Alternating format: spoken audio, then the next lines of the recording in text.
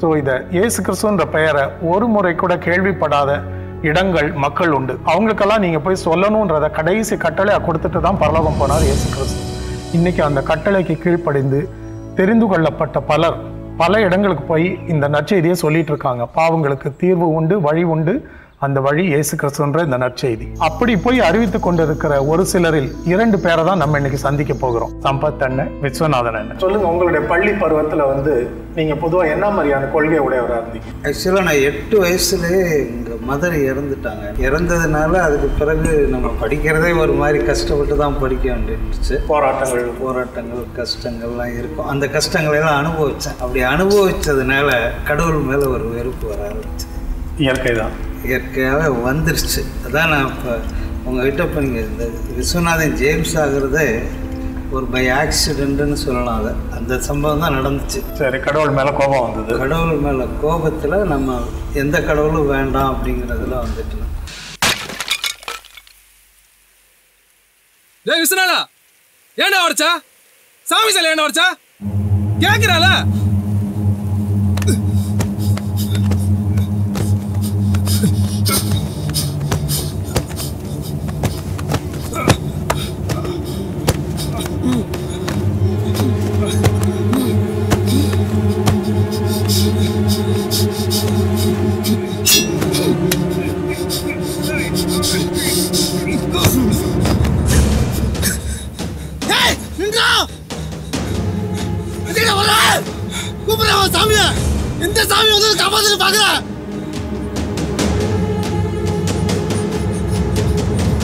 எப்படி கடவுளை அடித்தாலும் யாரும் வந்து என்கிட்ட கேட்க மாட்டாங்க. ஒரு மாதிரி ரவுடிஸ் கொஞ்சம் முரடன் இவன்ட்ட போய் எதுக்கு வம்புன்றேன் இருந்தோம் நாத்திகமும் விதண்டாவாதமும் தான் உங்க கூடயே வளர்ந்தது. ஆமாம் ஆக்சுவலாக தீக்காவினுடைய கொள்கைக்கு தள்ளப்பட்டேன் அப்படின்னு தான் சொல்லலாம். அதே மாதிரி எங்கள் ஊர்ல எல்லாம் இந்த முன்னாடி மந்திரிச்சு வைப்பாங்க ரோட்டில் எல்லாரும் அதை கண்டு ஒதுங்கி ஒதுங்கி தான் போவாங்க. நான் காலையில் வயலுக்கு போனால் அது வழியாக தான் போகணும்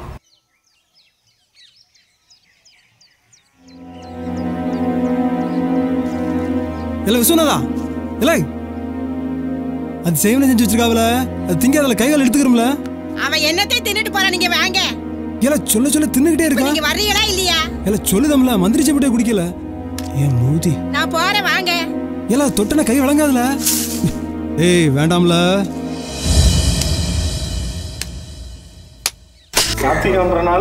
கடவுளும் எனக்கு கிடையாது கிடையாது. நம்புறதே கிடையாது. எதுவுமே கிடையாது. இது மாத்திரம் இல்லை இப்போ நான் எழுபத்தஞ்சி எண்பதுலலாம் வந்து பார்த்திங்கன்னா சபரிமலையெல்லாம் ரொம்ப விசேஷமானது. அப்போ பக்தி இல்லைன்னா சபரிமலைக்கு போயிட்டு திரும்பி வர முடியாது. அங்கேயே செத்து போயிடுவாங்கன்னு சொல்லுவாங்க. டேய் சுமரே தீ பிடிக்குறா டேய் சபரிமலைக்கு மாலை போட்டிருக்காரு. சாமின்னு கூப்பிடு. வாடா போடான்னு கூப்பிடுற. ஓ மாலை போட்டா மரியாதை கொடுப்பீங்களா? அப்ப நான் போறேன்டா மாலை. அதுக்கெல்லாம் சுத்த பத்தமா இருக்கணும். சுத்த இருந்து ஆஃபா? அப்படிலாம் பேசாத. ஐயப்பா அவனை அழிச்சிருவாரு. நானும் மாலையை போறேன்டா மாலையை போட்டு சரக்கு அடிக்கிறேன் காடைக்கவதெல்லாம் சாப்பிட்றேன். உங்க கூட மலைக்கு வரேன். உங்க சாமி என்ன பண்ணுதுன்னு பாத்துறேன். ஃப்ரெண்ட்ஸ் எல்லாம் சொன்னானுங்க நீ சபரிமலைக்கு எங்களோட சேர்ந்து வந்துடுவேன் நான் உங்களோட சேர்ந்து வர மாட்டேன் வரும்பொழுது ஏதாவது ஆக்சிடென்ட் ஆச்சுன்னா என்னையால் ஆயிடுச்சுன்னு சொல்லிவிடுவீங்க. அதனால அவங்க இருமுடியெல்லாம் கட்டிட்டு போவாங்கல்ல? ஆமா. நானும் இந்த இருமுடியெல்லாம் கட்டிட்டு தான் போனேன். அப்போ தான் இந்த பதினெட்டாம் படி ஏற விடுவாங்க.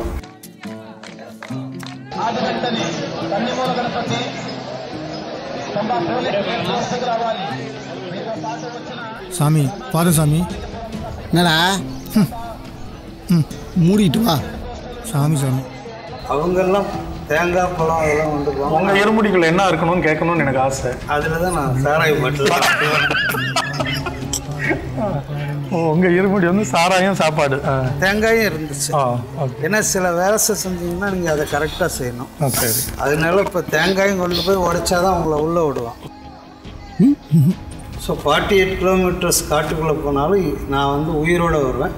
உங்களை வந்து மலையில் மேலே பார்ப்பேன். அதுக்கு பிறகு நான் தனியாக வந்துடுவேன் கீழே. திரும்ப வந்து ஊரில் பார்ப்பேன் அப்படின்னு சொல்லியிருக்கேன் அப்படியெல்லாம் போயிட்டு வந்தாச்சு. ஆனால் என் ஃப்ரெண்ட்ஸ் எல்லாம் பக்தியோடு போனவங்க தான் ஆக்சிடெண்ட் ஆகி வந்தாங்க. பக்தியோட போனவங்களுக்கு எல்லாம் விபத்து கடவுள் இல்லைன்ற நம்பிக்கையோட போனவங்க பத்திரமா திரும்பி பத்திரமா திரும்ப இப்படி இருக்கிற ஒரு சூழ்நிலையில தான் ஒரு நாள் கிறிஸ்தவங்க ஒரு மீட்டிங் போட்டாங்க எங்கள் திட்டம் ஊர் பக்கமா? ஆமாம் தற்செயலாக அந்த பாதையில் போயிருக்கேன். அப்போ அவங்க கிறிஸ்துவ பற்றி நிறையா பேசுவாங்க. இப்படி எப்படி அப்போ நான் அந்த ரோட்டு ஓரத்தில் நின்றுக்கிட்டு நல்லா இவ்வளோ ஏமாற்றி ஏமாற்றிக்கிட்டு இருக்கானே. இவன் எவ்வளோ ஏமாத்துறாங்கிறத வெளியே போய் சொல்லணும்.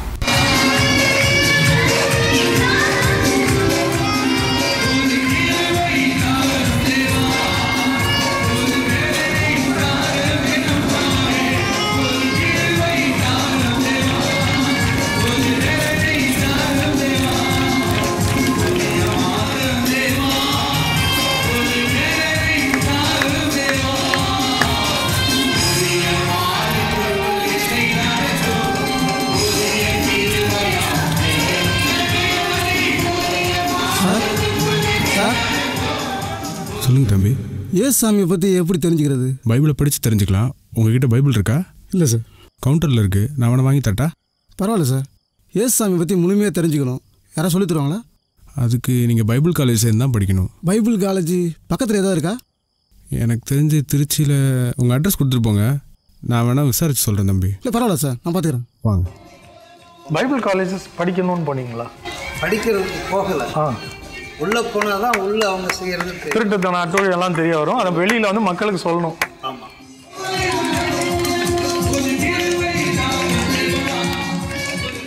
போகும் பொழுது முதல்ல பேர் என்னன்னாங்க? விஸ்வநாதன் அப்படின்னு. அப்போ கிறிஸ்தவனாண்டா தான் எடுக்கும் இங்கே வந்து ஹிந்து உங்களை சேர்க்க மாட்டோம் அப்படின்ட்டாங்க அப்போ உங்கள் இதில் சேரணும்னா நான் என்ன பண்ணணும்? கிறிஸ்தவனாக இருக்கணும் அப்படின்னு. ஜான்சன் அப்படின்னு ஒரு வாத்தியார் அவர் ஞானஸ்தானம் கொடுத்தாரு. ஜேம்ஸ் விஸ்வநாதன் நான் வந்து ஜேம்ஸ் விஸ்வநாதன் சொல்லி ஏன்னா இவங்க போய் கேட்டோன்னே என்னென்னா அவங்க தேவை இருக்குதுங்கிறத அங்கே பார்க்க பார்த்துட்டோம் அப்போ நான் ஜேம்ஸ் விஸ்வநாதன் பேரை எழுதி அதே பைபிள் காலேஜுக்கு திரும்ப அப்ளிகேஷன் கிறிஸ்தவ மாதிரி போறீங்க இப்போ ஆமாம் Friends, now how do you know that God lives? God exists. How you say that God exists? Prakash? Bible says God created this world, heaven, earth and all these natures. Then he created Adam in his resemblance and gave his breath to him. This proves how God exists. Very good. Then Sanjay, how do you know God lives, God exists? We know nowadays many souls get saved through miracles. This proves that there is a living God. Good. Then how do we connect ourselves with God? Right. Now let us see how each one of us pray. When you pray, you talk to God. Shall we pray? Let us request James, brother. James, stand and pray for us. Brother James, please pray. Amen James, what happened? Get up. What's wrong? I asked you to pray, but you're simply standing up, keeping quiet for some time, saying Amen, sitting down. This is not prayer, man. நான் மைண்ட்லேயே பண்ணிட்டேன் தம்பி நல்லா வாயை திறந்து அப்பா கிட்ட பேசணும். அதுதான் ப்ரேயர் எனக்கு இப்படி தான் பேச தெரியும்.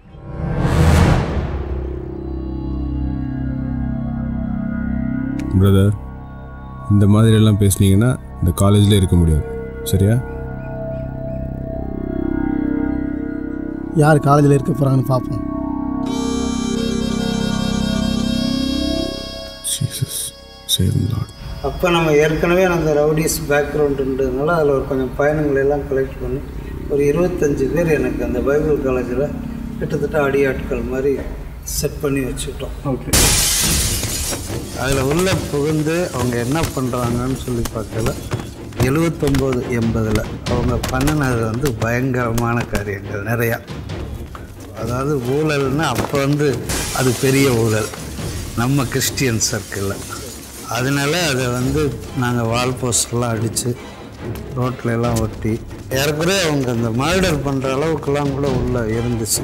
அதாவது கிறிஸ்டியன்ஸை நான் எந்த அளவுக்கு அவன் ஏமாத்துறான் அப்படின்னு சொல்லி தெரிஞ்சு போனோமோ.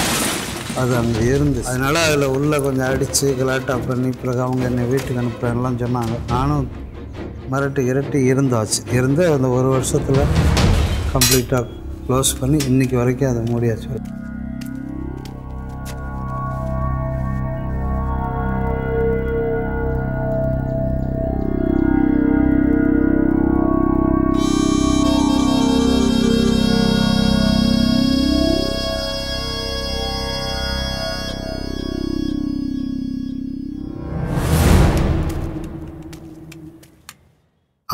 இருக்கையில் வந்து சேலத்தில் ஒரு பைபிள் காலேஜ் இருக்குது அதனால் அங்கே அப்ளிகேஷன் போட்டேன். எஃப்எம்பிபிக்கு அவங்க வந்து இன்டர்வியூக்கு கூப்பிட்டாங்க. நான் அனுப்புனது பெத்தேலுக்கு.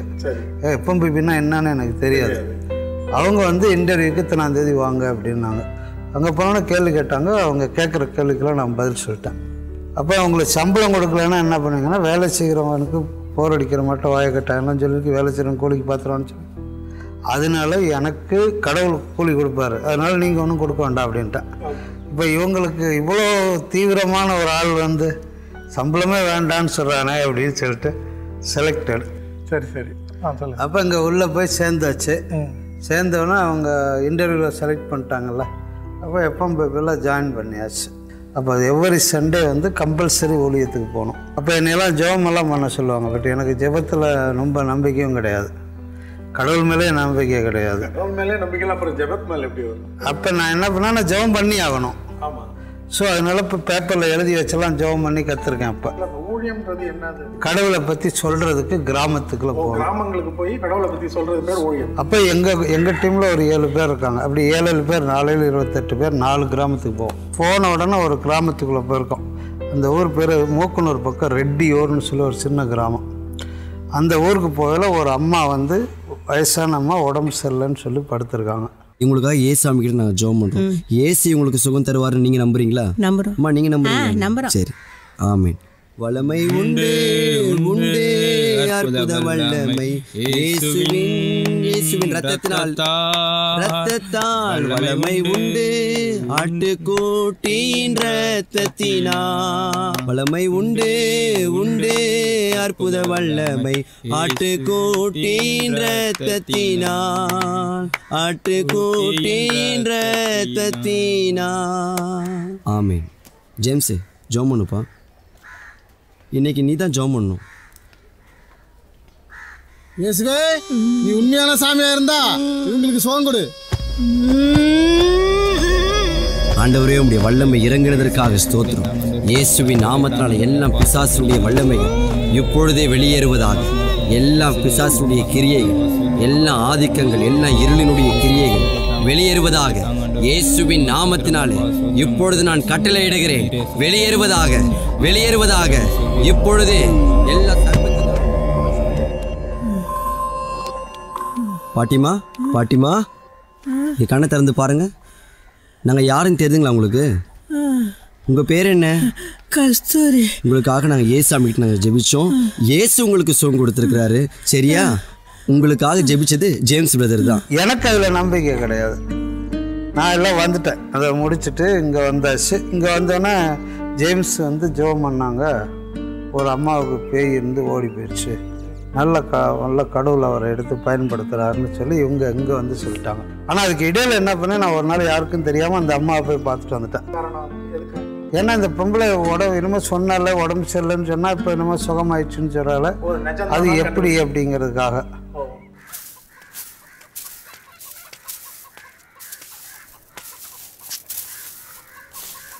மா?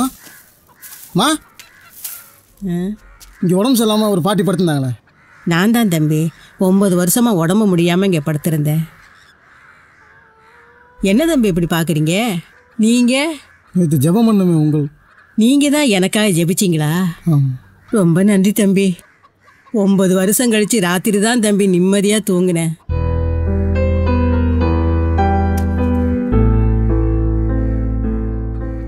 தமிழ் சமயங்கள் உங்க மனசுல என்ன ஓடி? எனக்கு ஒன்றுமே ஓடலை. இது கடவுளும் கிடையாது ஒரு மண்ணாங்கட்டியும் கிடையாது. இவங்கெல்லாம் ஏதோ பேத்துறாங்கன்ற மாதிரி உங்களுக்கு ஏதோ நம்ம என்னமோ சொல்கிறோம் அவங்களுக்கு சுகமாகுது அவ்வளோதான் Okay. இது வந்து அன்புல ஆண்டு வரை வல்லவரை நல்லவரை எல்லாம் கிடையாது.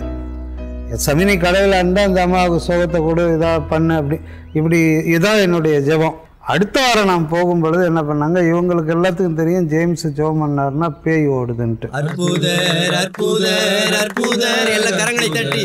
இயேசு அற்புதர் இயேசு அற்புதர் அன்றினோர் வாழ்வை இன்பமாய்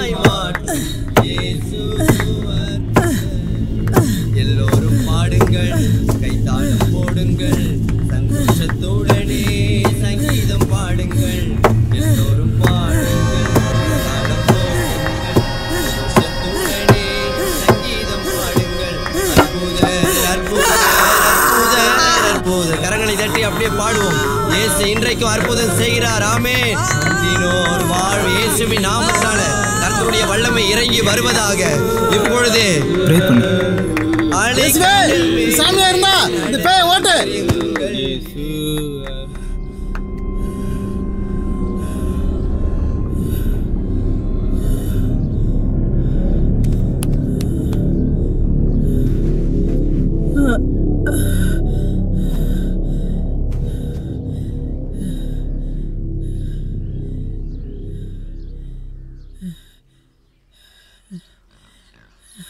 ஜேம்ஸு இங்கே வாப்பா.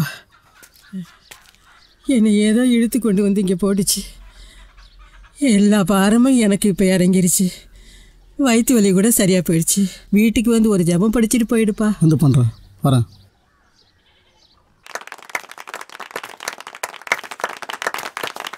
அருமையாக கர்த்தருடைய ஊழியம் செஞ்ச ஜேம்ஸ்க்காக நம் மத்தியில் இருக்கும் பால்ராஜ் சார் அவர்கள் ஜெபம் பண்ணுவாங்க. ஹீரோ மாதிரி ஆக்கிட்டாங்க அங்கே. வார வாரம் அவர் போனார்னா இவ்வளோ பேர் சுகமா அந்த டைமில் மேட்டூர்லேருந்தெல்லாம் வந்து அங்கே ஒருத்தர் ஜெபம் பண்ணுறாருன்னு என்கிட்ட ஜெபம் பண்ண வந்திருக்காங்க. அந்த ஜெபம் பண்ணி உங்களுக்கு சுகமாகணும்னு சொல்லியெல்லாம் வந்திருக்காங்க. அப்படி வந்திருந்ததுனால இப்போ இப்படியெல்லாம் நடந்துக்கிட்டு இருக்கு பார்த்தீங்களா என்ன கடவுள் ஒரு சமயம் தெரிஞ்சுக்கிறதுக்கு இதெல்லாம் அனுபவிச்சார் அப்படி தான் நான் கடைசியில் சொல்லுவேன். இப்போ என்னாச்சுன்னா ஒரு ஒரு பூஜாரி. சார் சார் வணக்கம் சார். வணக்கம். சொல்லுங்கண்ணா. என் தங்கச்சிக்கு இதே மாதிரி பேய் பிடிச்சி ஒரு வருஷமா ஆடிக்கிட்டு இருக்கு. அப்படிங்களா? நீங்க வந்து ஜெபிச்சு சரிப்படுத்தி கொடுத்தீங்கன்னா நல்லா இருக்கும் வீடு எங்கண்ணா இங்க இல்ல பக்கத்துல ரெட்டியூர்னு ரெண்டு கிலோமீட்டர். அப்படியா? ம். அடுத்த வாரம் வரேண்ணா. கண்டிப்பா வந்துருங்க. நான் இப்போ நினச்சி போனேன்? பொம்பளை பிள்ளை தானே. ஏதாவது பேசுனா ஒரு ரெண்டு தட்டு தட்டினோம்னா கீழே விழுந்துரும் அப்படின்னு நினச்சிக்கிட்டு நான் அங்கே போயிட்டேன். நானும் இன்னொரு இன்னொரு பையன் ரெண்டு பேர் மார்க்னு ஒரு பையன் ரெண்டு பேர் தான் அன்றைக்கி போயிருக்கோம்.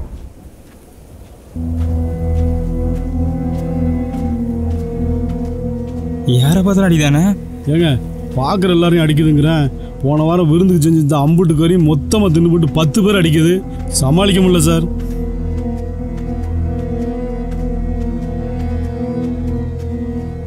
ஏய் எதுக்கு பயப்படுற? நான் பார்த்துக்கிறேன்டா சார் சாதாரணமாக நிற்காதீங்க உங்கள் சாமி மாதிரி அமைதியெல்லாம் இருக்காது. உக்கரத்தை பார்க்க தானே போகிறீங்க ஜேம்ஸு. டேய் வாடா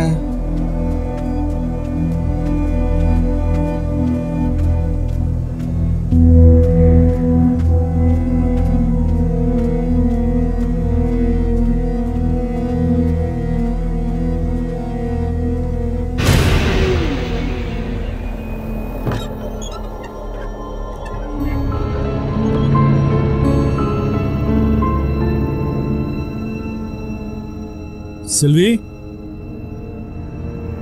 செல்வி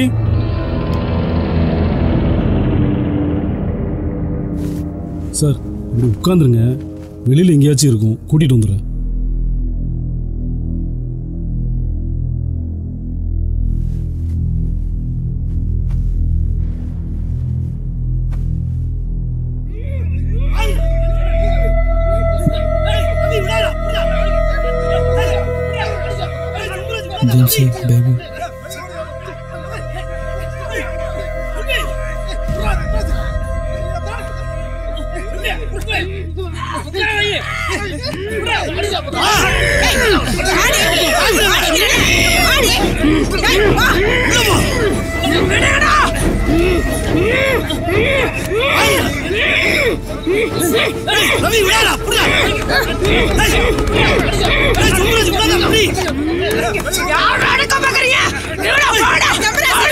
பத்து பேர் இருக்கீங்க அவளை அமைக்க உட்கார வைக்க முடியலையா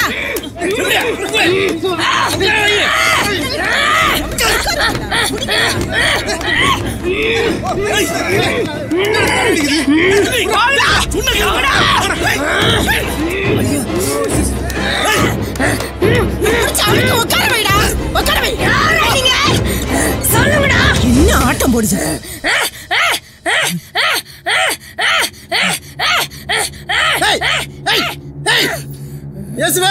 நீ கடவுளா இருந்தா அந்த பேய ஓட்டு யார கடவுளு நான் தான் கடவுளு. ஏசு இல்ல. என்ன வரட்ட நீ வந்துட்டியா? நீ கடவுள் நீ சொல்ற. ஏசு கடவுள் கிறிஸ்தவம் சொல்றான் நீ கடவுளா ஏசு கடவுளான்னு எனக்கு தெரியாது. அடுத்த வாரம் வருவேன். ஏசு உண்மையான சாமினா நீ ஓடிடுவ. அப்பயும் நீ இருந்தீன்னா ஏசு சாமி இல்லைன்னு நான் ஒத்துக்கிட்டு போயிடுறேன். சண்டை உனக்கு இயேசுவுக்கும் தான். எனக்கு உனக்கு இல்ல.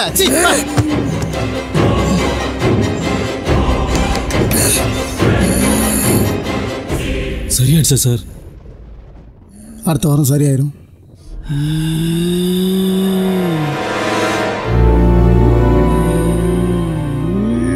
ஆ, ஆ, நான் தான் சொன்னல அப்பவே உங்க சாமியாலெல்லாம் ஒண்ணும் பண்ண முடியாதுன்னு. பத்து ஆள் ஆசால்ட்டா பந்தாடுது. ஒத்தாள் நீ ஜபம் பண்ணா போயிடுமா? ஜபம் பண்றாங்களா? ஜபம். தம்பி அவளை யாராலையும் ஒண்ணும் பண்ண முடியாது. அந்த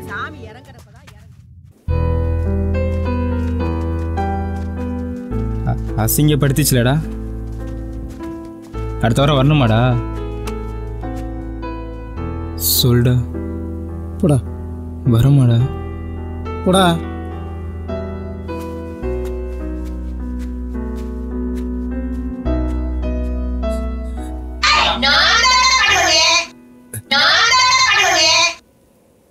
கண்ணில் தண்ணி வந்துருச்சு. உங்களுக்கு? ஆமாம் என்ன ஏன்னா இவ்வளோ நாளாக நம்மளை ஹீரோ மாதிரி அங்கே முந்நூறு பேர் உட்காந்து கேட்டாங்க. இவ்வளோ தூரம் நடந்துச்சு. இன்னைக்கு அடி வாங்காத குறையா அவமானப்பட்டு வெளியே போகிறோமே அப்படிங்கிற அந்த ஒரு மாதிரி ப்ரெஸ்டீஜ் ப்ராப்ளம் அவமானத்தின் காரணம். ஆமாம் அப்படி வரையில் அந்த சேலத்துக்குள்ளே திரும்ப நான் போகிறேன் அங்கே அதே பைபிள் காலேஜ் போகையில் என் மைண்டு ஃபுல்லாக வந்து ஏன்னா நூற்றம்பது பேருக்கு முன்னாடி அவமானப்படுத்திட்டோம் அப்படிங்கிற அந்த வெறி அதாவது நம்ம ஜெயிக்கலையே அப்படிங்கிற வெறி. அதில் வரையில் ஒரு பையன்கிட்ட எங்கள் ஊர் பையன் அவன் ஹிந்து அவன் அங்கே இருந்தான். அவன்கிட்ட சொன்னேன் நீ எனக்காக ஒரு ஜெவமண்டா அப்படின்னு. என்னை அறியாமே நான் போய் அவன்கிட்ட பேசிக்கிட்டு இருக்கேன். அவன் சொன்னால் நீ ஒரு பாட்டு பாடினா எனக்கு ஜெபம் பண்ணு எனக்கு பாட்டெல்லாம் வராதுன்னு. என்ன பாட்டுன்னு? ஜெய கிறிஸ்து முன் சொல்கிறார் ஜெயமாக நடத்திடுவார். அந்த பாட்டை பாடணும் அப்படின்னா. ஜெய கிறிஸ்து முன் செல்கிறார். ஜெயமாக நடத்திடுவார். இப்போ நம்ம ஒரு மாதிரி கலக்கத்தில் வர்ற அவன் ஜெய கிறிஸ்து முன் செல்கிறார். ஜெயமாக நடத்திடுவார்னு அப்போ வெற்றி நமக்கு கிடைக்குது அப்படி. அந்த இதில் போயாச்சு. ஜெயமாக நடத்திடுவார். ஜெயகீதங்கள் நாம் பாடியே. ஜெய கொடியும் ஏற்றிடுவோம். அன்னைக்கு தான் ரியலாக பைபிளை எடுத்து திருப்பி பார்க்குறேன். இந்த ஜாதி பிசாசு ஜெபத்தினாலும் உபவாசத்தினாலுமே என்று மற்ற எவ்விதத்தினாலும் புறப்பட்டு போகாது என்றார். உங்க மனசு மாறத்தவங்க இல்லை. எனக்கு வந்து மாறினா வெற்றி அடையணும் இப்போ நான். எனக்கு கடவுளை ஏற்றுக்கிறதெல்லாம் கிடையாது.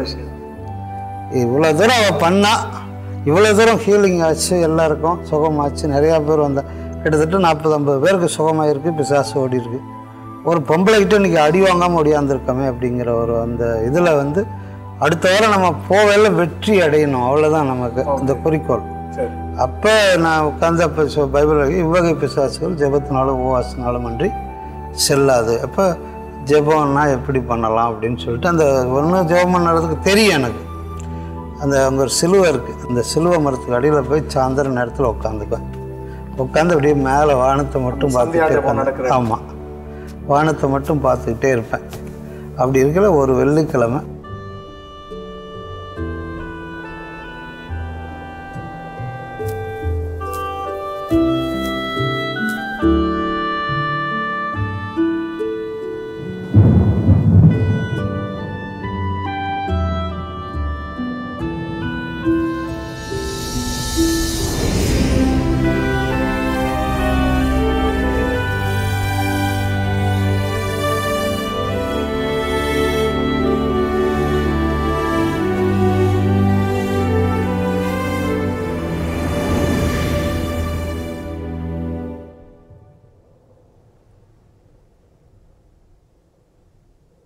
அப்போ இந்த கிராஸ் தெரிஞ்சோன்னே பைபிளில் கொலைசி ரெண்டு பதினாலு பதினஞ்சில் இருக்கும். நமக்கு எதிராக கட்டலாம் நமக்கு விரோதமான கையெழுத்தை கொலைத்து அப்படின்னு சொல்லி போட்டு அது சிலுவையில் வெற்றி சிறந்தார்.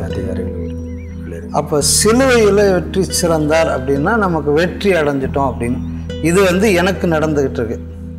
ஆனால் அவள் அந்த ஊரில் இருந்து நான் இருக்கிற இடத்துல இருந்து பதினஞ்சு கிலோமீட்டருக்கு அந்த பக்கம். நான் அங்கே என்னென்னலாம் பண்ணுறேனோ அவள் அங்கே சொல்லிக்கிட்டே இருந்திருக்கான் யார் தெரியுமா? நாங்கள் எத்தனை பேர் இருக்கோம் தெரியுமா? எங்களை ஒன்னால என்ன என்னடா எல்லாரும் என்ன விரட்ட பாக்குறீங்க? சிலுவைக்கு அடியில நின்னு பட்டி எழுந்த ஜபம் பண்றானாமே? நான் ஓடிடுவேனா? அஞ்சு பேரா வராங்களாமே? வரட்டும் பாத்துக்கிறேன். எனக்கு அவனையும் தெரியும் அந்த இயேசுவையும் தெரியும். வரவங்களால என்ன பண்ண. முடியாது. வரட்டும் நான் யாருன்னு காட்டுறேன். அவங்கள நானா பாத்துரலாம் அந்த அடுத்த ஞாயிற்றுக்கிழமை அந்த பஸ் விட்டு இறங்குறோம் பார்த்துங்க அங்கே போகிறது நடந்து போன நாலு கிலோமீட்டர் டேய் நிறுத்துறா ஏன் சார் வந்தீங்க? செல்விக்கு ஜெபம் பண்ணதான் சார் அது மூணு நாள் பயங்கரமாக தெரியுது சார். நீங்கள் அஞ்சு பேரா வரீங்கன்னு கரெக்டாக சொல்லுங்க சார். ஏதோ சிலுவை கீழே பட்டினி அந்த ஜாமெலாம் பண்ணிக்கலாமே? ஆமாம் அதெல்லாம் சொல்லுது. கிளம்பி போயிருங்க சார். வரட்டும் அவங்களா நான் பார்க்குறேன்னு சொல்லுங்க சார். போயிருங்க சார். சார் சொன்னா கேளுங்க சார். லைட்டாக கலக்கமெல்லாம் வந்துச்சு. இருந்தாலும் நமக்கு அந்த தைரியம் ஒன்று உண்டு. ஏன்னா எவ்வளோ சிலையெல்லாம் தூக்கி அடிச்சிருக்கோம் இதெல்லாம் பண்ணியிருக்கோம் அதெல்லாம் ஒன்றும் செய்யல வரும் ஒட்டை பிள்ளைக்கு போய் பயந்துட்டு போகிறதா வந்தால் ஒன்று அடித்து கொன்றது அப்படிங்கிற ஸ்டேஜில் தான் நான் அங்கேருந்து போயிருக்கேன். ஜேம்ஸு இந்த வாரம் நீ பண்ணது ஃபுல்லாக சொல்லிச்சாமே. போகணுமாடா. நான் பார்த்துக்குறேன். நீ.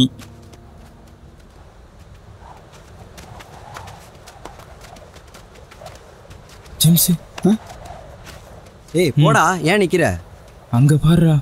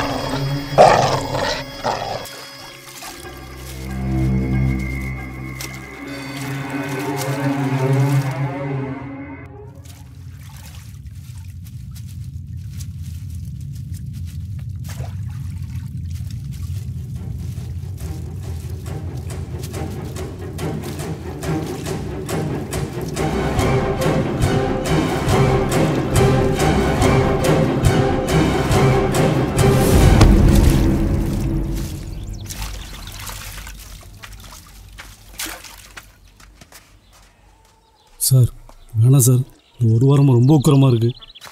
சார் சொன்னா கேளுங்க சார். சார்!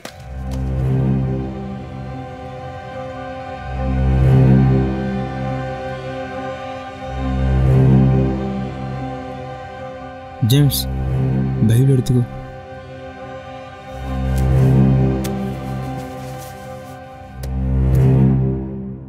இயேசுவே தகப்பனே. நீ உண்மையான சாமியா.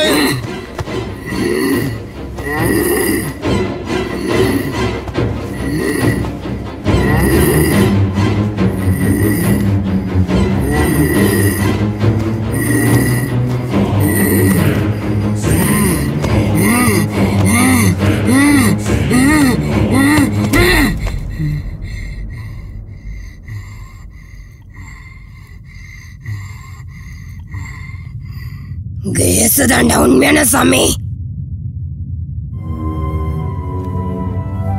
என்னை விட்டுடு நான் போயிடுறேன்.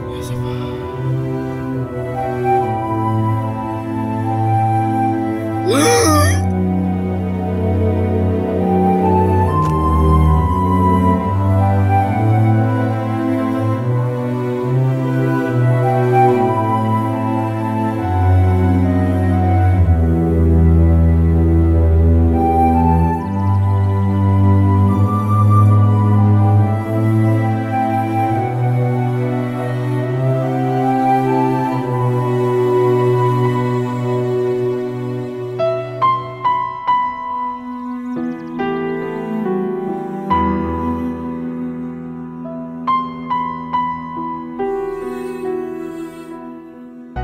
இயேசு கிறிஸ்து கடவுளுங்கிறத நமக்கு வெளிப்படுத்தினதே ஒரு ட- பிசாசு தான்.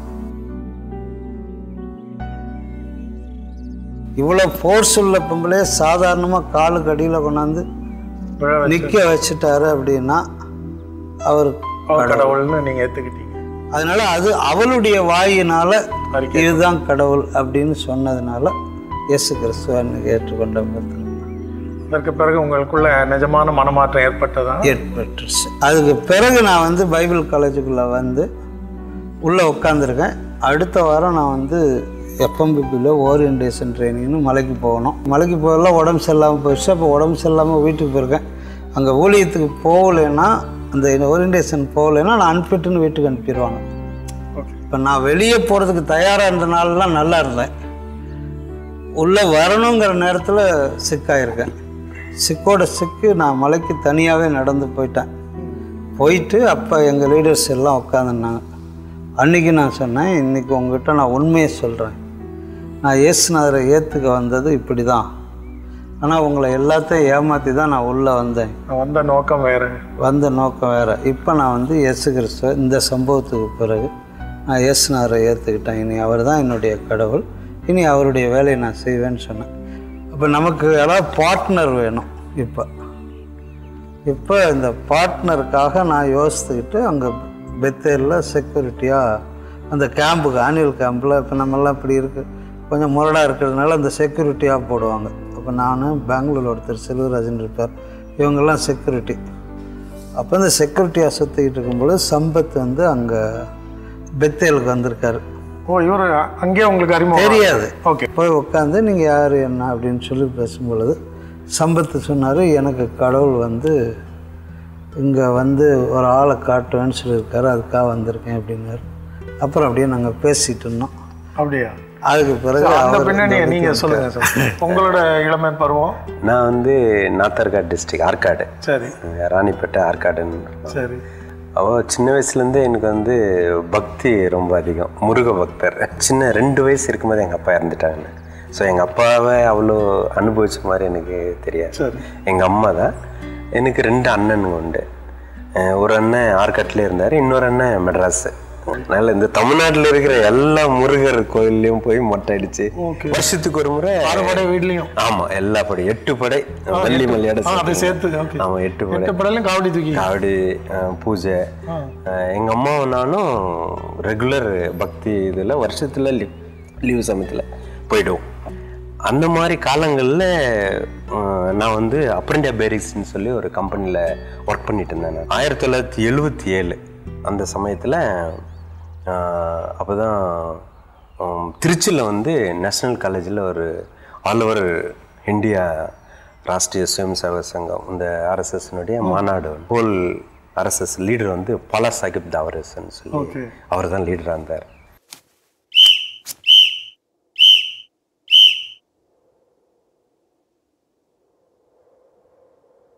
நமஸ்தே சதா वत्सले मातृभूमे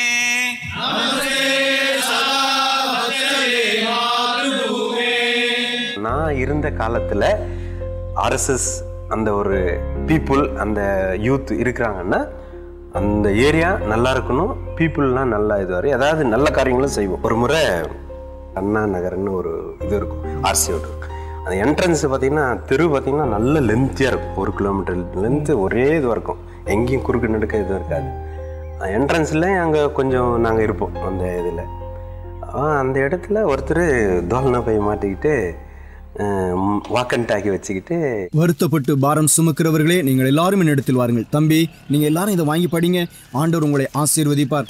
அண்ணாச்சி நீங்க இதை வாங்கி படிங்க நல்ல காரியங்கள்லாம் எழுதப்பட்டிருக்கு. அம்மா நீங்களும் இதை படிங்க. ஆண்டவர் உங்களுக்கு பெரிய காரியங்களை செய்வார். அன்புள்ள சகோதர சகோதரிகளே. அண்ணே அண்ணாச்சி இயேசு உங்களை நேசிக்கிறார். இயேசு நம்புங்க உங்க வாழ்க்கை செழிப்பாகும். இயேசு அன்பான தெய்வம். தம்பி நீங்களாம் ரொம்ப கஷ்டப்பட்டு வேலை செய்றீங்களே. நீங்க இயேசு கிறிஸ்துவ நம்புங்க. உங்க வாழ்க்கையில் உள்ள கஷ்டங்கள் எல்லாம் மாறி போகும் இயேசு உங்களை ஆசீர்வதிப்பார். உங்க எதிர்கால வாழ்க்கை ரொம்ப நல்லா இருக்கும். தம்பி நீங்களும் இதை வாங்கி படிங்க. தம்பி வணக்கம். ஹலோ. உங்களெல்லாம் பாக்குறதுல ரொம்ப சந்தோஷப்படுறேன். போங்க சார் அதெல்லாம் வேணாம் சார். இந்த கிராமத்துல நீங்க கொஞ்சம் நல்ல வாலிபர்கள் குழு போல சொல்றேன். சொல்லிக்கிட்டே இருக்கல நானும் உங்களை போல இப்படித்தான் இருந்தேன். நானும் அப்பல இருந்து பாத்துட்டு இருக்கேன். கண்டது எல்லார்ட்டும் கொடுத்துட்டு இருக்கேன். கண்டது இல்ல தம்பி இந்த பக்கம் நித்திய வாழ்க்கை ஒண்ணு இருக்கு. குறிச்சு தான் பேசிட்டு இருக்கேன்? நமக்காக இயேசு சொல்லிட்டே இருக்க திரும்பி திரும்பி பேசிட்டு கவலை தம்பி. இயேசு உன்னையும்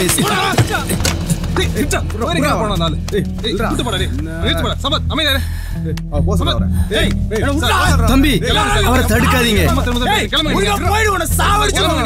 டேய் சும்மா சொல்றேன் அடிச்சவன் செத்துக்கிட்டு போட்டா என்னடா பண்ணுவ? ஏய் அவன் பேசிக்கிட்டே இருக்கா பாஞ்சிட்டு சும்மா இருக்குமா ஏய் பரவாயில்ல தம்பி. ஆனாலும் பாருங்க இயேசு உங்களை மன்னிப்பார். அவர் அன்புள்ளவர். அவரை ருசிச்சு பாருங்க.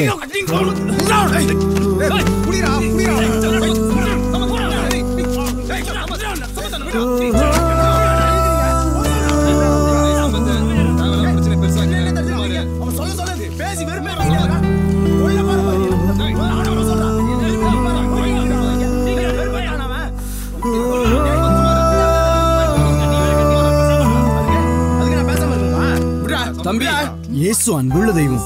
இயேசு உன்னை மன்னிப்பார். போ சொல்றா மரியாதையா? சரி சரி கொடு.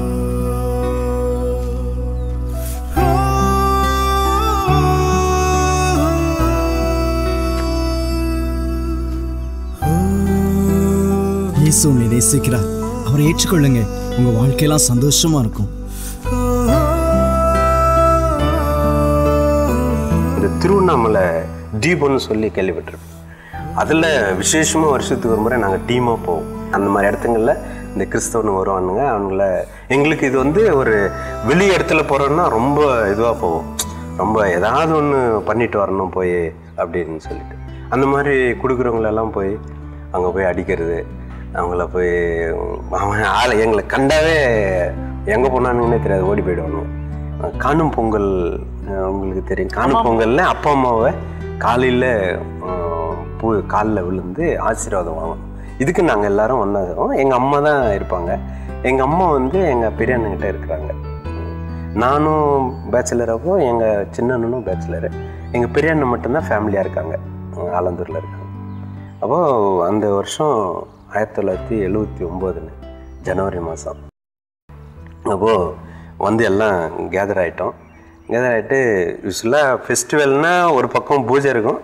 மத்தியானம் சாப்பாடு முடிஞ்சோடனே தேட்டருக்கு போயிடுவோம். எல்லாம் இது இந்துஸினுடைய இது.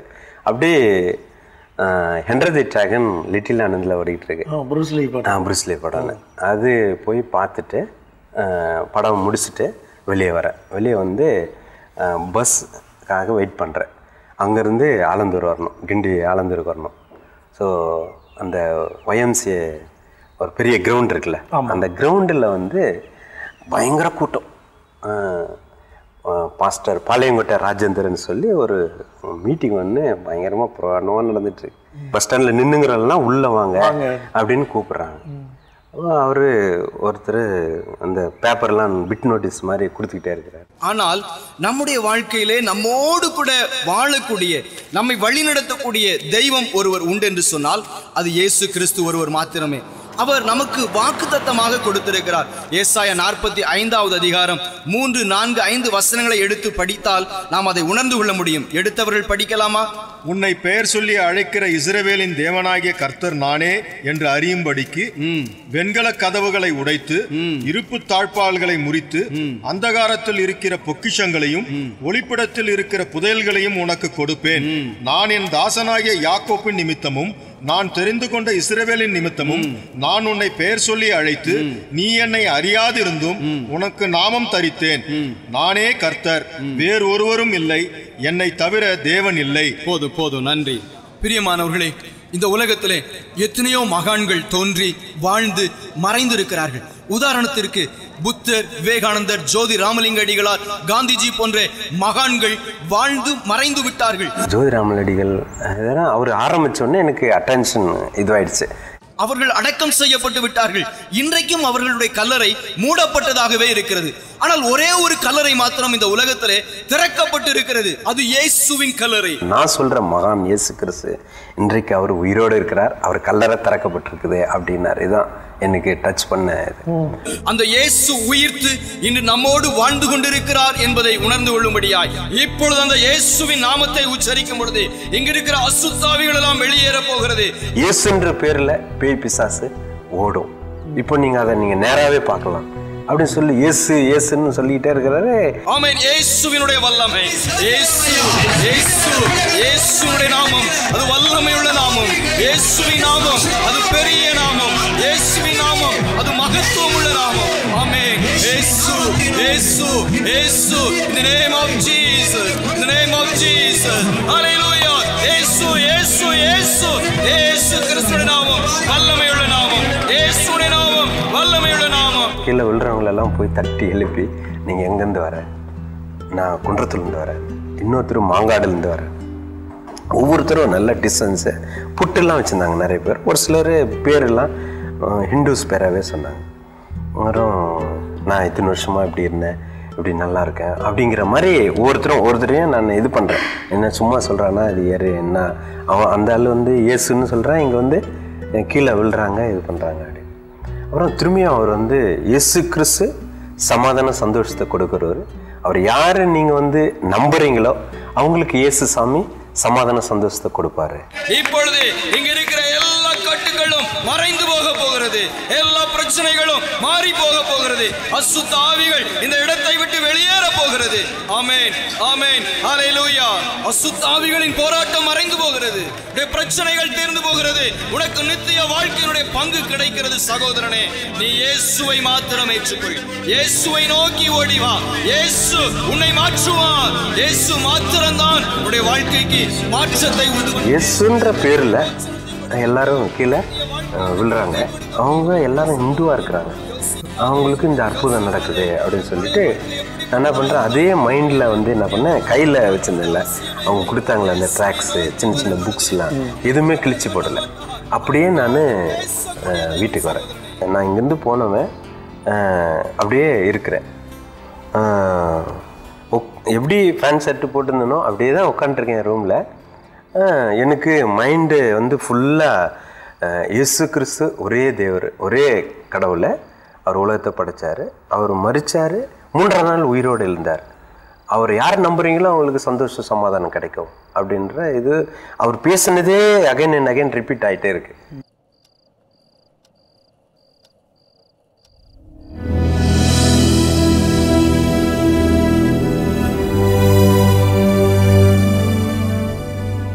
தந்தையும் தாயும் கைவிட்டாலும் கர்த்தர் என்னை சேர்த்துக் கொள்வார் அப்படின்னு இந்த வானத்தில் மின்னல் ஏதோ அதில் அந்த மாதிரி லைட்டிங்கில் லெட்டர்ஸ் வந்து போயிட்டே இருக்கு. நான் திரும்பி திரும்பி அதை படிச்சுக்கிட்டே இருக்கிறேன். என்னால் தாங்கவே முடியல. அழுகிறேன் சிரிக்கிறேன் அழுகிறேன். ஒரு பைத்தியக்கார மாதிரி.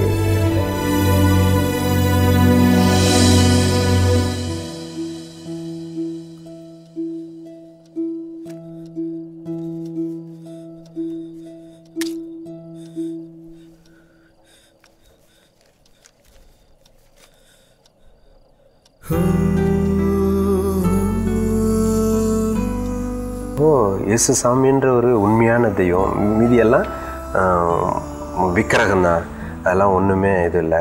எனக்கு சுவாமி விவேகானந்தருடைய இதெல்லாம் ideal worship is the devil ஒர்ஷிப்னு சொல்லி அது ஒரு இது எனக்கு படித்த இது. ஓ இந்த மாதிரி ஓ ஐடியல் ஒர்ஷிப்லாம் டெவில் ஒர்ஷிப் தான். அப்போ கடவுள்னா ஒரே ஒருத்தர் இயேசஸ் கிறிஸ்து தான் அப்படின்ற ஒரு மனசுக்குள்ளே ரொம்ப ஒரு சந்தோஷம் ஒரு இது. அப்படியே உட்காந்துருக்கேன் இருக்கேன். ரூம் வந்து என் ரூமை இப்படி இப்படி தட்டுறாங்க. என் ஃப்ரெண்டு வந்து டெய்லி டியூட்டி மார்னிங் ஃபர்ஸ்ட் ஷிஃப்ட்டுக்கு போகணும் என்ன கதை தட்டுறா நான் ஃபேன் ஷர்ட்டோட இருக்கிறதோட இருக்கேன். என்ன டியூட்டிக்கு டைம் ஆச்சுன்னு அப்படியே போகிறேன் ஹோல் நைட்டு இல்லை. எலிசா எலிசான்னு ஒருத்தர். அவர் எப்போ வர என்கிட்ட வந்து ஆர்குமெண்ட் பண்ணிக்கிட்டே இருப்பார். ஏசாம் பற்றி சொல்லுவார் ஆர்குமெண்ட் ப்ரொடக்ஷனில் இருப்பார் நான் டூல் ரூமில் இருப்பேன். அப்புறம் நான் நேராக அவனை போய் பார்த்தேன்.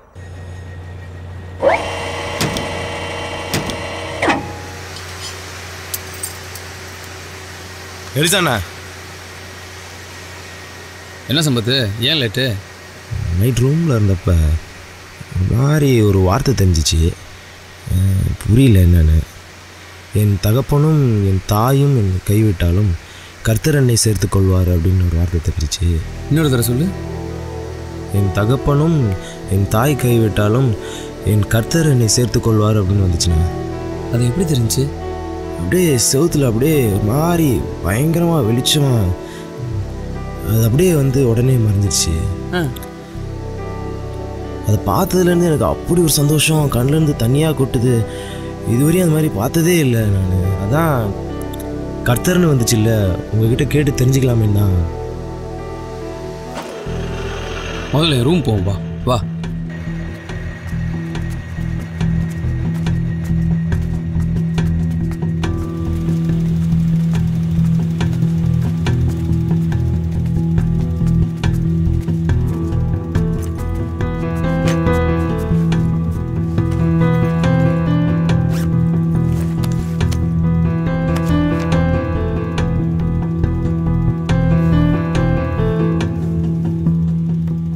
என் தகப்பனும் என் தாயும் கைவிட்டாலும் படி. என் தகப்பனும் என் தாயும் என்னை கைவிட்டாலும் கர்த்தர் என்னை சேர்த்துக் கொள்வார் இந்த வசனம் பைபிள்ல இருக்கானே? ஆமா. இதானே என் ரூம்ல வந்துச்சு? ம். ஆண்டவர் உன்னோட பேசியிருக்காரு சம்பத். இதை காலையில் ஜெபத்தில் எனக்கு காட்டி உறுதிப்படுத்தியிருக்காரு.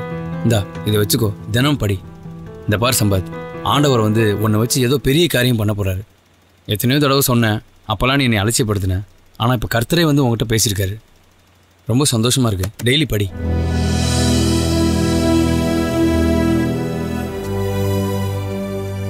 நானே பைபிள் படிக்கும்போது எனக்கு எதுனா தெரிலன்னா நான் கேட்பேன் இந்த இது எனக்கு புரியல அப்படின்னு சொல்கிற மாதிரி. நிறைய தரிசனம் ஆண்டருடைய வசனங்கள் இப்படி தரிசனங்களா என்ன? அதான் ஓ என்னுடைய எங்கெங்கெல்லாம் நான் சாக்கா நடத்தினேன் இல்லை வள்ளிமலை திருவலம் திருவள்ளம் அஹ் இப்படி நிறைய இடத்துல நான் குரூப் டீமை கூட்டிகிட்டு போய் அந்த இடத்துலலாம் போய் வாக்கண்டாக்கல ஏசு கிறிஸ்து மையான தெய்வம். அப்படின்னு சொல்லி சொல்லுவேன். ஃபுல் டைமுக்கு நான் ஆண்டூர் காலிங் நிறைய ஆண்டூர் என்னோட அடிக்கடிக்கு எங்கெங்கெல்லாம் கிராமத்தில் அக்கம் பக்கம் கிராமத்துலாம் போய் சுவிசேஷம் சொல்கிறது இது பண்ணுறது அந்த வந்து ஜெபம் பண்ணுவேன். வீட்டில் வந்து ஜெபம் பண்ணுவேன். ஜெபம் பண்ணும்போது ஆண்டவர் தரிசனங்கள்னால இது பண்ணி இந்த மினிஸ்ட்ரி இந்த வேலையை விட்டுட்டு நீ ஃபுல் டைமாக வரணும் அப்படிங்கிற மாதிரி நீயோ இயேசு கிறிஸ்துவுக்காய் நல்ல போர்ச்சாகுனா தீங்கு அனுபவின்னு.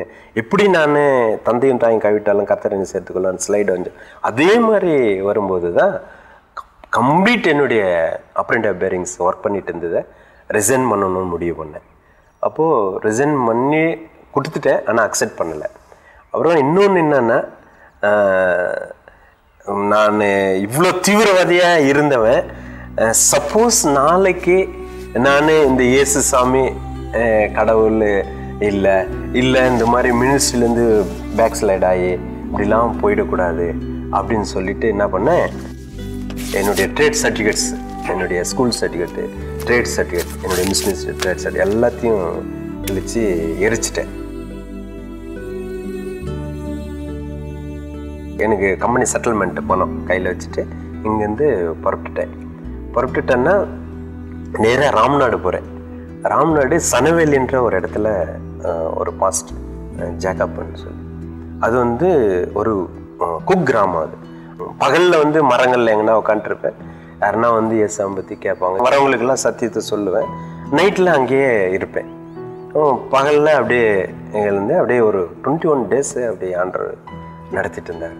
ஆன்மீக ஆத்மீக ரீதியில் கடவுள் வந்து பைபிளை படிக்க படிக்க பரிசுத்த ஆவியானவருடைய வழிநடத்தல்.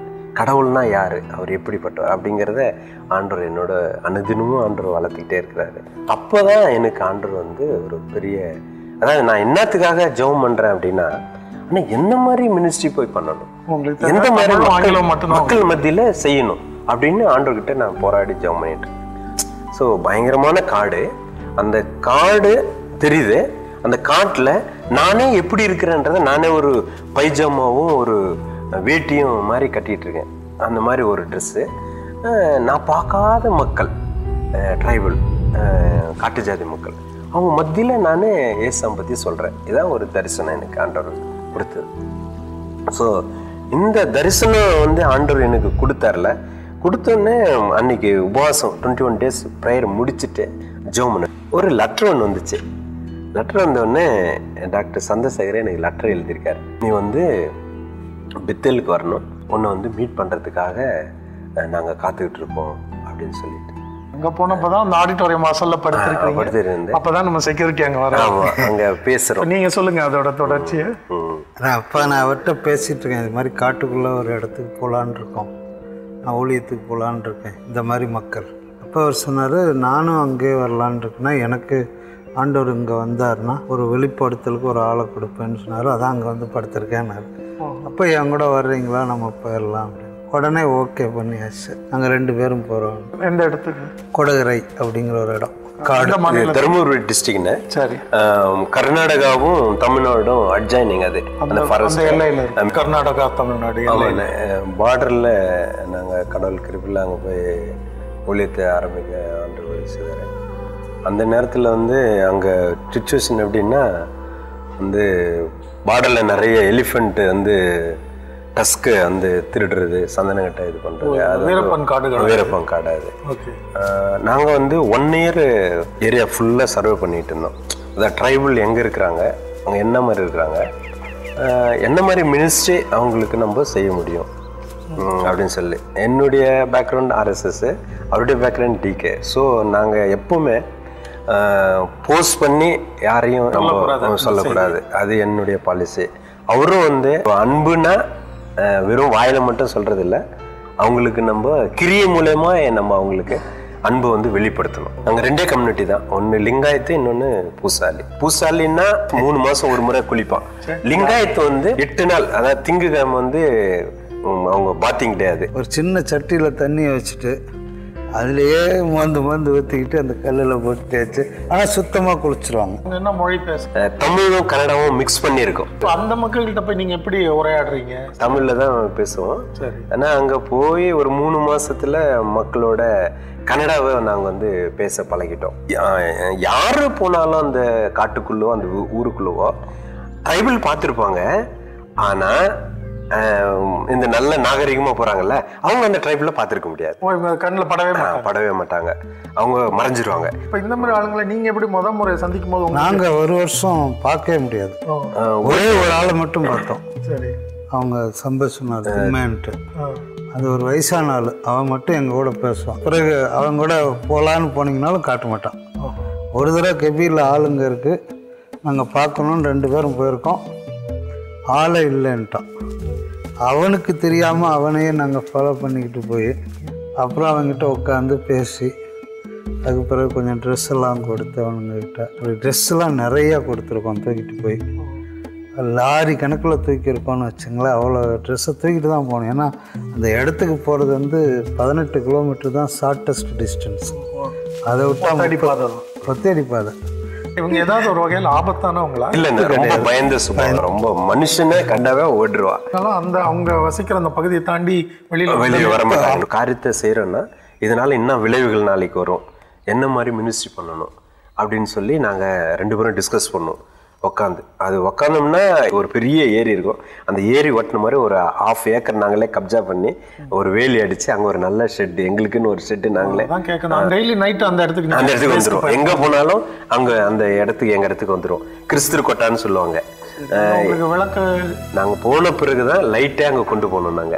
எலக்ட்ரிக்கல் பதினெட்டு வீடு எலக்ட்ரிக்கல் நாங்களே எலக்ட்ரிக்கல் பண்ணி இபி ஆஃபீஸில் கீழே அடிவாரத்துல போய் மீட்டர் எல்லாம் இது பண்ணி லைன்லாம் கொண்டு வந்து மின்சாரத்தை அஹ், பார்க்க மின்சாரத்தை அவங்க சந்தோஷமா இது பண்ணி ரோடும் கிடையாது ஃபஸ்ட்டு ரோடே நாங்கள் தான் போட்டோம்.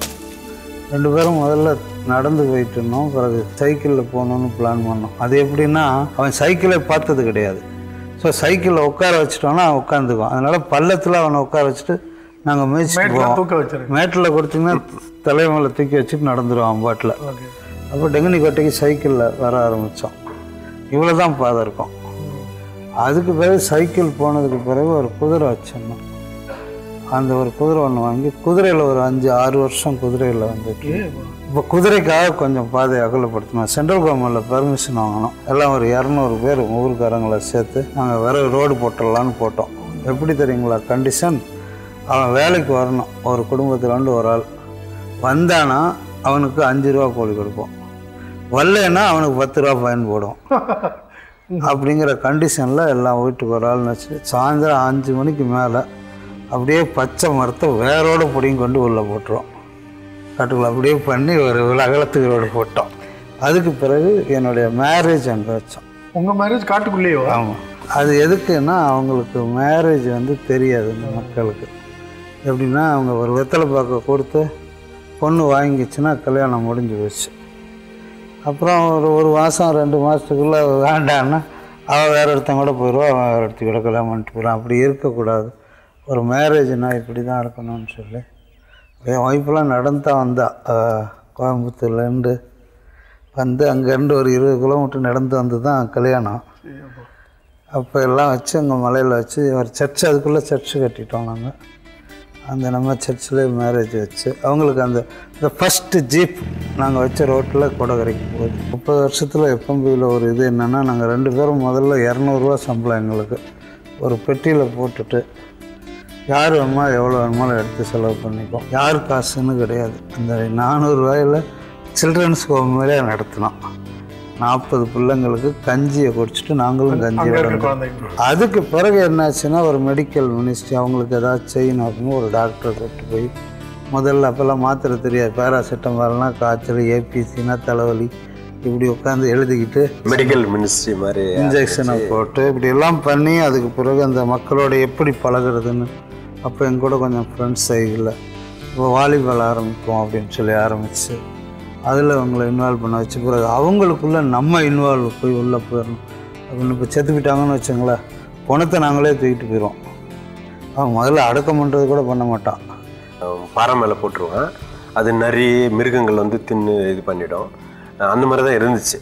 நாங்கள் என்ன பண்ணோம்? ஃபஸ்ட்டு டெத்து குழி தோண்டி இந்த மாதிரி புதைக்கணும். அதுக்கப்புறம் குழி தோண்டி புதைக்க ஆரம்பித்தாங்க ட்ரைபிள் லிங்காயத்து வந்து அவங்க சடங்காச்சாரப்படி செய்வாங்க. அவங்களுக்குள்ள ஒருத்தருக்கு ஒருத்தர் இது கிடையாது. அண்டர்ஸ்டாண்ட் அதாவது உள்ளுக்குள்ள போறது இது பண்ண அந்த மாதிரி கிடையாது. ஸோ இது மைண்ட்ல எங்களுக்கு என்னாச்சுன்னா இவங்க எல்லாம் ஒரே தண்ணி குடிக்கணும். இவங்க ஜாதி டிஃப்ரென்ஸாக இருந்தாலும் தண்ணி வந்து ஏன் இவங்க இது பண்ணணும் அப்படின்னு கடவுள் கிருபில் ரெண்டு பேரும் ரொம்ப டீப்பாக இதை யோசித்தோம். அங்கே ஒரு கிணறு இருக்குது தானே அங்கே ஆல்ரெடி கிணறு கவர்மெண்ட்டு வெட்டி வச்சிருக்காங்க. ஆனால் யாரும் யூஸ் பண்ணல அந்த பயன்படுத்தாத பயன்படுத்தல. அப்போ ஏன் இதை பயன்படுத்தல அப்படின்னா ஒரு எஸ்சி அதை கான்டாக்ட் எடுத்து அந்த கிணறை செய்ததுனால தண்ணியை முட்டக்கூடாதுன்றது லிங்காயத்து கிராமத்துக்குள்ள இருந்தது. நாங்க லிங்காயத்து மத்தியில் தான் நாங்க ஸ்டே பண்ணிட்டு இருக்கோம் காட்ஸ் கிரேஸ் ஒரு கைடன்ஸ் என்னன்னா இந்த மெடிக்கல் ஆரம்பிச்சல யார் வந்தாலும் புதுசாலி வந்தாலும் எஸ்சி வந்தாலும் ட்ரைபல் வந்தாலும் டேப்லெட்டை கொடுக்கும்போது என்ன பண்றதுன்னா நான் சொல்லிடுவேன். எப்பவுமே டேப்லெட் கொடுக்கும்போது அந்த ஒரு டம்ளர் தண்ணியை குடிக்கும்போது இங்கிருந்து தான் நான் எடுத்துட்டு வந்தேன். சார் சென்னாகுது சார் ஒல்லி நீர் சார். அப்படின்னு அவன் இது பண்ணான் அதை போய் நீயும் குடி உனக்கும் எந்த வியாதியும் வராது. ஸோ அதை வந்து யூஸ் பண்ண ஆரம்பிச்சாங்க. யாரு? லிங்காயத்தும் பூசாலிகளும் யூஸ் பண்ண ஆரம்பிச்சிட்டாங்க. அது என்னாச்சுன்னா டெய்லி யூஸ் பண்ணி எல்லாரும் அந்த கிரவுண்ட் வாட்டரை விட்டுட்டாங்க. இப்போ நாங்கள் யூஸ் பண்ணுறோம்ல அந்த தண்ணி தான் யூஸ் பண்ணாங்க எல்லாரும். அப்படியே ஒரு அம்மா என்ன பண்ணுச்சு அதை இது விட்டுடுச்சு. அந்த பக்கெட்டியோட உள்ளே விழுந்துட்டு நாங்கள் அடுத்தது நாங்கள் குளிக்கணும் நாங்கள் தண்ணி எடுக்கணும். சரி என்ன பண்ணேன் நான் உள்ள போய் இறங்கி கயிறு கட்டி உள்ள கயிறுல அப்படியே உள்ள இறங்கினேன். இறங்கி எடுத்து கொடுத்துட்டேன் அந்த வாளியை. திரும்பியும் நானும் மேலே வரணும். வய கயிறை பிடிச்சி அப்படியே அது வந்து என்ன ஸ்டெப்ஸ் எல்லாம் கிடையாது அந்த கிணறுல. அன்னைக்கு தானே உண்மையாவே ஒரு பெரிய சாட்சின்னு இது. உள்ள இறங்கிட்டு மேலே ஏறுறேன். இப்படி என்ன ஹெல்ப் பண்ணுங்க என்னால முடியல அப்படின்னு. அந்த ஒருத்தர் என்ன பண்ணாரு இப்படிதான் பிடிச்சாரு. இங்க பிடிச்சிருந்தாருன்னா ஒரு வேலை. இங்க மணிக்கட்டுல பிடிக்கல. இப்படி பிடிச்சாரு. பிடிச்சோன்னா அப்படியே விட்டுட்டாரு. அவ்வளவுதான். அலையிலையா பிரைஸ்லாடு ஒரே சத்தம் தான் தண்ணி வந்து முட்டிங் தான். தண்ணி இருக்காது அல்ல அந்த அந்த இதுல. அது வந்து சேரு அப்படிலாம் கிடையாது. பாறை அது. விழும்போதே இங்கிட்ட அங்கிட்ட எங்கேயாவது அடிபட்டிருந்தா ஃபுட்பால் இது பண்ற மாதிரி மண்டை இதுவாயிருக்கும். எந்த விதமான ரத்த காயமும் எதுவுமே எலும்பு எதுவும் உடையில எதுவும். இதை மேலேருந்து பார்த்துட்டு இருந்திருக்காங்க நிறைய பேர். அதெல்லாம் ஒருத்தர் ட்ரைபல் சன்ராயன் அவன் அவன் பார்க்குறான் என்ன? ஏதாவது எல்லாரும் நிறைய பேர் பார்க்குறாங்க. எங்கேயாவது ரத்தம் எதுனா இருக்குதா? எங்கேயும் எந்த இதுவும் இல்லை. அதை பார்த்து இயேசு கிறிஸ்து மெய்யான கடவுள் நான் கும்பிடுற காளி மாரியாய் கடவுளை விட எல்- எல்லா சக்திக்கும் மேலான கடவுள் இவர் கும்பிடுற கடவுள். அதான் இவர் உயிரோட இருக்கிறாரு. அப்படின்னு சொல்லி ஏசாமி அவர் ஏத்துக்கிட்டாரு. அந்த பூசாரி. அதான் ஃபர்ஸ்ட் கான்வெர்ட் அவர். அப்புறம் இன்னொருத்தர் ஒரு கேஸ் நான் சொல்லணும் முக்கியமாக இதில். ஒருத்தர் ஒரு மர்டர் கேஸில் மாட்டினார் பார்த்தாங்க ராஜன்னு சொல்லி. அவரெல்லாம் சூசைட் பண்ணுற போகிற நேரத்தில் அவர்கிட்ட கடவுளை பற்றி சொன்னோம். கோர்ட்டு கேஸ் ப்ரொடியூஸ் ஆச்சு பார்த்துங்க கோர்ட்லலாம் எப்படி தெரியுமா ஜெபம் பண்ணியிருக்கோம்? அப்போ எங்கள் ஜெபம் வந்து கொஞ்சம் ஒரு மாதிரி முரட்டுத்தனமான ஜெபமாக இருக்கும். எப்படின்னா பொய் சொல்கிறவன் அந்த கோர்ட்டு கூண்டிலே விழுந்துடணும் கீழே அப்படின்னு சொல்லி ஜெபம் பண்ணுவோம். இங்கேருந்து போவான் பொய் சொல்லணுன்ட்டு ராஜு தான் கொலை செஞ்சார் ராஜு தான் கொலை செஞ்சாருன்னு நேராக மேலே போய் ஏறி கூண்டில் போனாலும் ராஜுக்கு எதுக்கும் சம்மந்தம் இல்லைன்னு இறங்கி வந்துடுவான் ஆறு பேர் அப்படியே விட்னஸுக்கு போயிட்டு ஆறு பேர் இறங்கி வந்துட்டான். எஸ்ஐ திட்டிக்கிட்டு போகிறான் என்னடா அப்படி சொல்கிறீங்க நான் போய் சொல்கிறேன் பாருன்னு சொல்லிட்டு ராஜுக்கும் இதுக்கும் சம்மந்தம் இல்லைன்னு எஸ்ஐ இறங்கி வந்துட்டான். அப்போ இருந்த ச இன்ஸ்பெக்டர்லாம் பயங்கர வெறியில் போனான் திட்டிட்டு. ராஜு தான் இதை கொலை செஞ்சார் அப்படின்னு சொன்னான் அந்த ஆள். அவ்வளோதான் இந்த கையில் ஒரு லெட்ரு போ பார்க்குறியா இதில் நீ தானே கையெழுத்து போட்டேன் நான் லாயரு ஆமாம் அப்படின்னா. இதில் வந்து இதில் சம்மந்தம் இல்லைன்னு எழுதியிருக்கேன் நான் நான் பார்க்க கூட இல்லை எனக்கு தெரியலன்ட்டான். அந்தே ஜட்ஜ்மெண்ட் ஆகி வெளியே ரிலீஸ் ஆகி வெளியே வந்து இப்போ அந்த ராஜு என் கூட இப்போ ஊழியத்தில் இருக்காரு திருநெல்வேலியில்.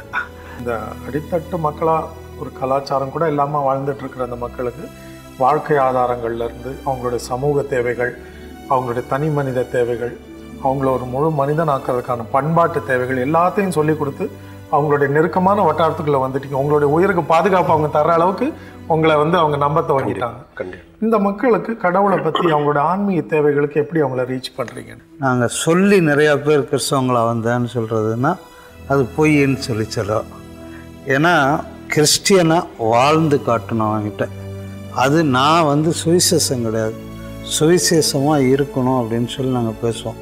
அப்போ இருக்கல அவங்க. நாங்கள் ரெண்டு பேரும் பேசிட்டு இருந்ததே நிறையா தான். நிறைய வந்து அவனுக்கு செய்ய ஆரம்பித்தோம் கிரைஸ்ட்டை வந்து நாங்கள் சொன்னதை விட பிரதிபலிக்க காட்டணும் அப்படி காட்டினதுனால அந்த அவர் சொன்னார்ல கிணத்துக்குள்ளே விழுந்து ஒருத்தன். ஃபஸ்ட்டு கான்வெர்ட் அவன் வந்தான். அதுக்கு பிறகு வரிசையாக பார்த்தீங்கன்னா அவனை ஒதுக்கி வச்சான் அவன் வீட்டில். ஒரு தட்டை தூக்கி வெளியே வச்சான் சாப்பாட்டுக்கு. அவன் அதை பற்றி கவலையே படலை. ஜாதி விட்டு தள்ளிடுவானுங்கன்னு சொல்லி ஒதுக்குவானுங்க. அவங்க அப்பா அப்படி பண்ணால் அவனுக்காக ஜெபம் பண்ணோம். அப்போ எங்கள் ஜெபம் வித்தியாசமாக இருக்கும். ஒரு அவன் ஒருத்தனுக்காக நாங்கள் அவன் வீட்டில் போய் ஜெபம் பண்ணோம். அந்த ஊருக்கே கேட்கும். அவ்வளோ தூரம் கத்துவோம் அவன் வீட்டில் ஜெபத்துக்கு. அப்போ பக்கத்து வீட்டில் ரேடியோ வச்சு திருவிடுவாங்க. ஏன்னா நாங்கள் பாடுற பாட்டு அங்கே கேட்கக்கூடாது. அந்த பாட்டு சத்தத்தை விட வேகமாக எங்களுடைய சத்தம் இருக்கும். இதை வச்சு அந்த அந்த வீட்டுக்காரங்க அந்த ஒய்ஃப் இவனுடைய தங்கச்சி ஆண்டருக்குள்ளே வந்தாள் அவளுக்கு ஆண்டவர் பெரிய மரக்களை செஞ்சார். நாங்கள் சொன்னோன்னா அதான் சொல்லவே முடியாது. அதாவது இஸ்ரேலில் பாறையில் தண்ணியை கொடுத்தாருன்னு சொல்கிறோம் பார்த்தீங்களா? அதே சம்பவத்தெல்லாம் ஆண்டவர் அங்கே கொடுத்தார். தண்ணி இல்லாமல் சுத்தமாக ட்ரையாக அப்படி இருந்த ஒரு பாறையில் போய் செத்து போகிறேன் இனிமேல் தண்ணி இல்லைன்னா ஆண்டவரே எனக்கு தண்ணி கொடுன்னு ஒரு அடி அடிக்கையில் அந்த பாறையில் ஒரு சொம்பு தண்ணி கிடச்சிது. அதை இவ குடிச்சிட்டு புருஷன்கிட்ட கொடுத்து நீ குடிக்கிறியானா இப்போ வேண்டாம் அப்புறம் குடிக்கிறான் இருக்கான் பிறகு பார்த்தீங்கன்னா பாறையிலையும் தண்ணி கிடையாது திரும்பி போய் கிடையாது. புருஷங்காரன் போகும்போது தண்ணி இல்லைங்க ஸோ ஞாயிறு ஆராதனையில் ஆண்டரை பற்றி செய்திகள் கொடுப்போம்ல. இது வந்து ப்ராக்டிக்கலாக அவங்க காட்டுக்குள்ள அவங்க அனுபவிப்பாங்க இப்படி சொல்லும்போது அப்ப ஞாயிற்றுக்கிழமை ஆராதனை மாதிரி இவங்களை எல்லாம் ஒண்ணா சேர்த்து ஆமா வீட்டில் உங்க வீட்டுல அவங்க வீட்டில் அவங்க அவங்க வீட்டில். இப்படி ஆரம்பித்து மிரக்கல் ஆண்டவர் வந்து செய்ய ஆரம்பித்த உடனே அவள் வீட்டுக்காரன் தலைமையில் உட்காந்து பக்கத்தில் உட்காந்து ஜெபம் பண்ணுவான். என் வீட்டுக்காரனை ரட்சியும் சார். நாங்கள் ப்ரேயர் பண்ணலாம் கிடையாது. அவன் ஆண்டருக்குள்ளே வந்தான். பிறகு அவங்க அப்பா அந்த தட்டத்துக்கு வெளியே வச்சானே. அவனுக்காக ஜெபம் ஒரு மரத்தில் இருந்து மொட்டை பாறையில் விழுந்து செத்தவன் மாதிரி கிடந்தான். அவன் மகன் போய் ஜெபம் பண்ணான் அந்த ஆபிரகம். தென் அவன் உயிரோடு வந்தது மாதிரி வந்து அவன் ஆண்டருக்குள்ளே வந்தான். இப்படி வந்து ஏறக்குறைய உட்காந்து எழுபத்தஞ்சு பேருக்கு மேலே ஞானஸ்தானம் எடுத்து இன்னைக்கு சர்ச்சுக்குள்ளே இருக்காங்க. இந்த சம்பத் என்ன உங்களுடைய தரிசனம் உங்க விஷயம்? என்னுடைய விஷயம் என்னன்னா நான் ஒரு காலத்தில் ஆண்டருக்கு விரோதமாக எவ்வளோ டிட் அகேன்ஸ்டாக இருந்தேன்னா ஸோ எனக்காக அந்த பாஸ்டர் வந்து போய் ஜெபம் பண்ணி அவர் வந்து எனக்கே தெரியாது. அவரை தான் நான் அடிச்சிருக்கேன். அவரை தான் நான் என் ஏரியாலேருந்து துரத்திருக்கிறேன் அப்படின்ட்டு. இந்த மாதிரி நிறைய அங்கங்கே மீட்டிங்கில் கூடும்போது நீங்கள் இன்றைக்கி இந்த சுவிசேஷ கூட்டத்தில் இந்த கன்வென்ஷன் மாதிரி வைப்பாங்க த்ரீ டேஸ்னு அதில் நீங்கள் தான் உங்கள் சாட்சி சொல்கிறீங்கன்னு சொல்லுவாங்க. அப்போ அந்த மாதிரி சாட்சி சொல்லிகிட்டு இருக்கும்போது அப்போ தான் எனக்கே தெரியும். நான் சாட்சி சொல்லி முடிச்சிட்ட உடனே போய் சேரில் உட்கார்றேன் சேர் மைக்கில் முடிச்சுட்டு உட்கார்றேன் அவர் அந்த பாஸ்ட்டு அந்த திரைக்கு பின்னாடி போய் தேம்பி தேம்பி அழுது ஜெபம் பண்ணார். நான் தான் அந்த பாஸ்டர் அப்படின்னு. என்ன தான் நீங்கள் அடிச்சிங்க என்ன தான். ஒருவேளை என் பேர் அவர் குடிச்சிட்டு போய் ஜெபம் பண்ணாரா? என் பேர் தெரியுமா தெரியாதா? ஆண்டோடைய சமூகத்தில் என் முகத்தை கண்டிப்பாக வச்சு ஜெபம் பண்ணி ஆண்டர் என்னை மாற்றிருக்கிறார் அதனால் நான் ஒரு ஒரு கிறிஸ்டினாக நான் வாழ்ந்துட்டாவே போதும். ஆண்டவருடைய ராஜ்யத்தை கட்டிட்டு இருக்கிற உன்னதமான பணியில ஒரு தெரிந்து கொள்ளப்பட்டவரா இருக்கிற ஒருத்தரா இருக்கிற உங்களுடைய ஊழியத்தை பொறுத்த எதிர்கால தரிசனம் என்ன? அவருடைய வேலையை நம்ம செய்ய ஆரம்பித்தோன்னா அவர் நம்முடைய வேலையை அவர் பாட்டில் செய்ய ஆரம்பிச்சிடுவார் என்னைக்கு நம்முடைய வேலையை நம்ம செய்ய ஆரம்பிச்சுட்டு அவரை துணைக்கு கூப்பிட்டோம்னா கண்டிப்பாக வரமாட்டார். இது என்னுடைய எக்ஸ்பீரியன்ஸ்